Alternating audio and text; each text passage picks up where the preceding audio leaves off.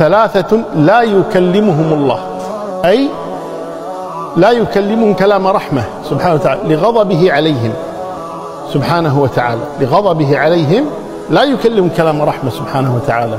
قال ولا يزكيهم. أي لا يشهد لهم بالإيمان لضعف إيمانهم أو ذهاب إيمانهم. والمقصود هنا ضعف إيمانهم. قال ولهم عذاب أليم أي مؤلم. عذاب شديد مؤلم. من هم؟ قال أشيمط زان.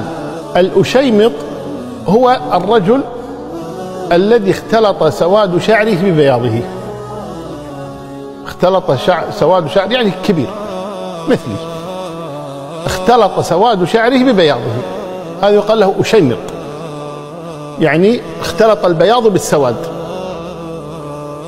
هذا الأشيمط إذا وقع منه الزنا فإنه أقبح من وقوعه من غيره.